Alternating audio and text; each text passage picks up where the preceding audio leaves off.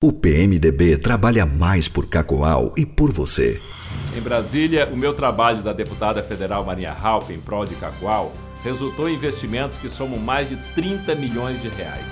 Ajudamos na liberação de 12 milhões para o hospital regional e 2 milhões para a estruturação de unidades de atenção à saúde, 10 milhões para obras de saneamento básico, 5 milhões para a pavimentação asfáltica, 3 milhões para a Vila Olímpica, 1 milhão para o teatro. Também liberamos recursos para asfaltar o acesso ao Hospital São Daniel Comboni, para a conclusão do ginásio poliesportivo, construção da quadra coberta no Cernic, compra de maquinários e caminhões, aquisição de tanque de resfriamento de leite, além da iluminação da BR-364 no perímetro urbano, Cacoal também ganhou uma escola técnica federal com aprovação de um projeto de minha autoria no Senado Federal.